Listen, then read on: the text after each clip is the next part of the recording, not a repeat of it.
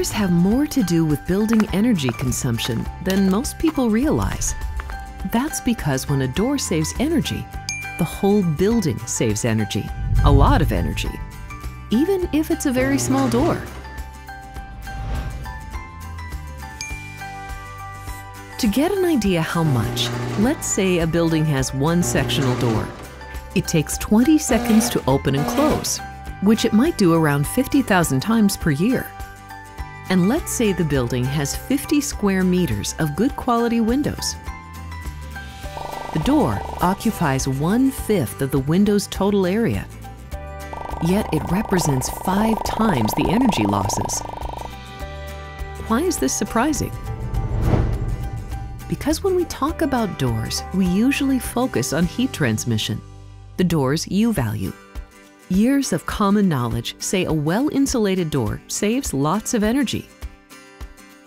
But that's only true if the door is closed. When the door is open, it's losing energy.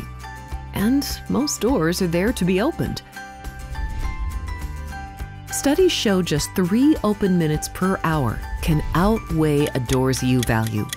So to know a door's energy impact, we have to consider multiple factors.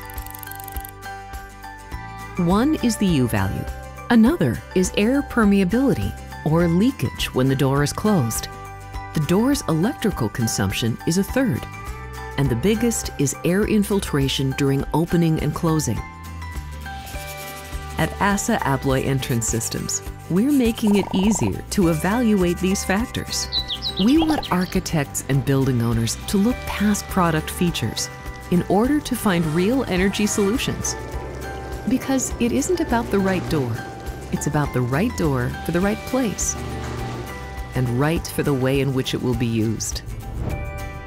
To learn more about the impact of doors on building energy consumption, contact your local representative or visit assaabloyentrance.com.